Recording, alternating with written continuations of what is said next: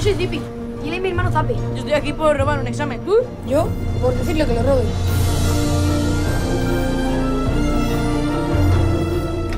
Pues no tiene tan mala pinta, ¿a que no? No. ¡Internos firmes!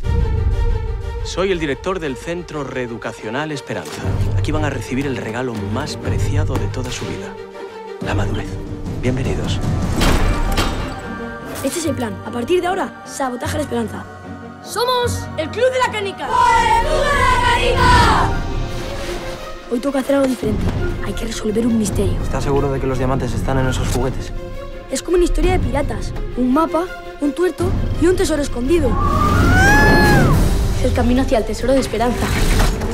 ¡Corre, corre! Se escapan. Así que este es tu juego, Esperanza. No importa lo difícil que lo pongas. ¿Qué va a hacer con eso? Jugar.